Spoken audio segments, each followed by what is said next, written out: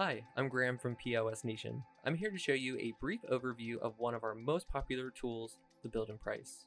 POS Nation's Build and Price is a quick and easy to use feature that allows you to build a custom point of sale solution based on your business's needs. To get started, you simply navigate to the Build and Price button found on our homepage. Then you'll be guided through four simple steps to build your system and generate a quote. The first step is to select the industry that best describes your business. For our demonstration, I'm going to select retail store. Once selected, you'll automatically move to step 2. In this step, you'll be presented with three of the most popular options for your industry. The first option is the Flex Monthly POS Bundle. This is designed for business owners who are looking for a low-cost monthly option that doesn't slack on features. The second option is our Freedom POS Bundle. With a single payment option, this is the bundle for business owners who are looking for all the bells and whistles in one simple transaction. Lastly is our custom build POS option. This is completely customizable, providing you with total flexibility when it comes to building your solution.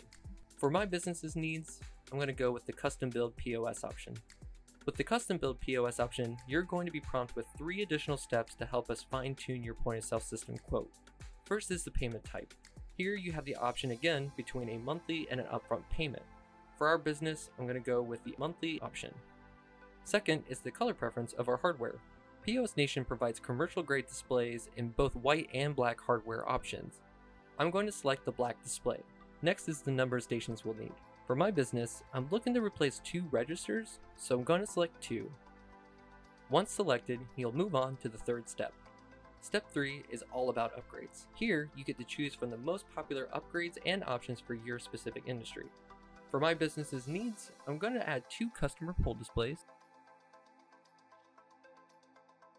and two wireless barcode scanners.